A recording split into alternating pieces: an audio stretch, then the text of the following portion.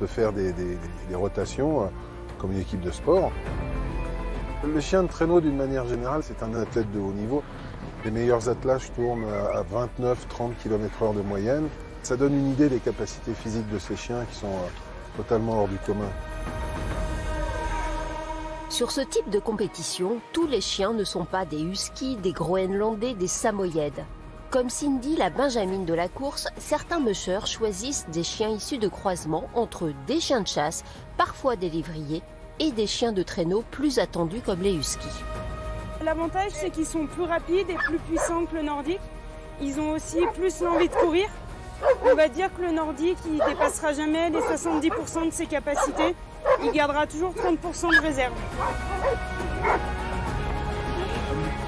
Le musher, il guide son attelage uniquement à la voix. Donc tout le travail euh, à l'entraînement, en fait, c'est de former ce qu'on appelle des chiens de tête.